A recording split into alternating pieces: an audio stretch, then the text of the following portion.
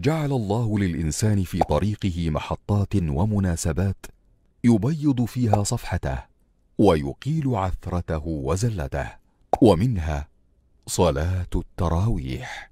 فهي من قيام رمضان الذي قال فيه النبي صلى الله عليه وسلم من قام رمضان إيمانا واحتسابا غفر له ما تقدم من ذنبه وصلاة التراويح مع الإمام أفضل من صلاتها فرادى في البيوت لما يترتب عليها من الفضل العظيم.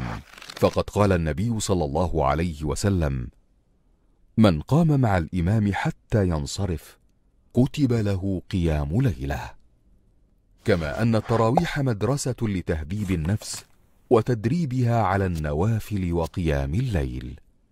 وقد كان بعض السلف يقول ما من شيء أجده في قلبي ألذ عندي من قيام الليل والأفضل أن يقتصر على إحدى عشرة ركعة.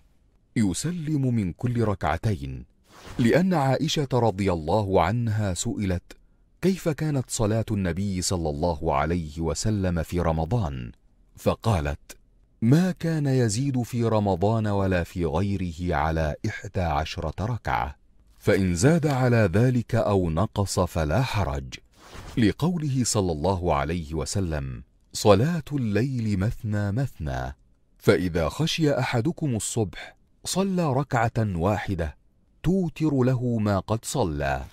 ويستحب القنوت في الوتر ولكن ينبغي على الإمام أن يحافظ على الأدعية المأثورة. وألا يطيل وألا يتكلف السجع ولا يبالغ في رفع الصوت والصراخ.